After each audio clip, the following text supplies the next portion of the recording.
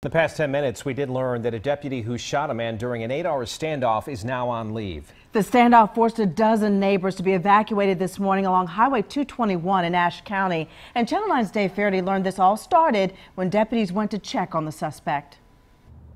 Well, the SBI was out here for seven hours collecting evidence in the case. If you look behind me, you can see the main building here along Highway 221 in Ashe County. They focused, though, a lot of their attention on that camper right over there.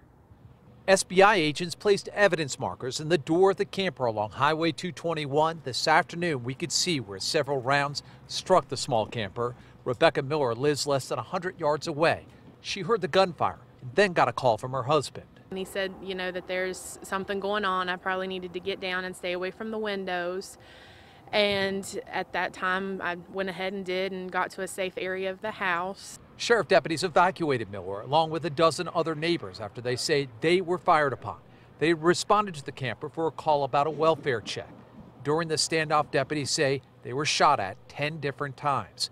Kevin Gregg lives across the street and couldn't get home last night. Really, you don't hear about much crime up here in Ashe. I mean, it's a real quiet town, really. You know, you wouldn't expect to hear nothing like that. The NCDOT says the contractor for the $65 million Highway 221 project is using the building. The contractor told us the man who died did work on the road widening project.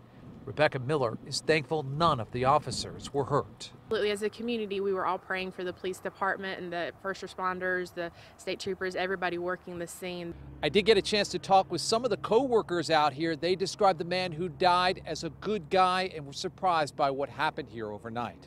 Back to you.